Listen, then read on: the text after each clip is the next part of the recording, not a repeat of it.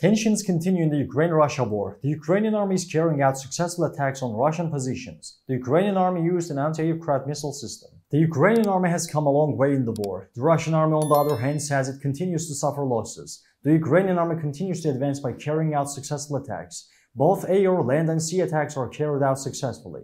A Ukrainian soldier used a portable anti-aircraft missile system to destroy a Russian missile. A Ukrainian soldier shot down a Russian missile using a portable anti-aircraft missile system. The defenders kept the sky safe all day. Ukraine will not be disintegrated by the missile attack. Troops successfully hit Russian air targets and hold the line. To reach all actual news fast and reliable worldwide, please don't forget to follow and like us.